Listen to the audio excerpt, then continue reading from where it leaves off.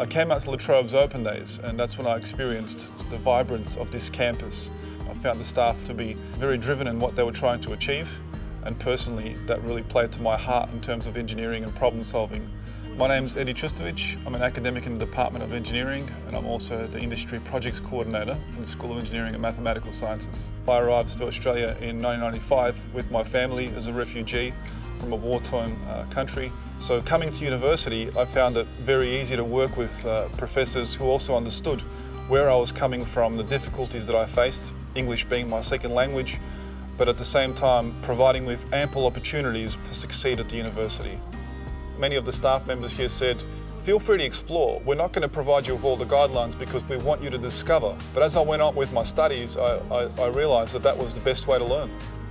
I'm personally driven by my passion to teach. There's an opportunity for us to create the next generation of problem solvers. The proudest moment of my career was winning the Telstra University Challenge with uh, a bunch of my students. We developed uh, a fetal monitoring device, the third trimester of pregnancy for women. Given that Australia is such a developed country and yet still has such a high proportion of stillbirths, it was very inspirational for my students and I deliver a product in less than 10 weeks that was able to then solve a global problem.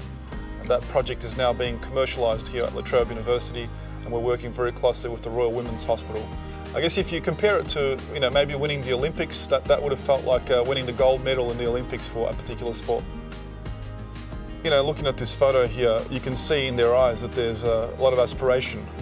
They've now completed their studies and for some of them it's end of a journey, but for me it's the beginning of a new journey the beginning of a journey of discovery, discovering who you are, what sort of mark you want to leave on this world. Your career will be whatever you make of it.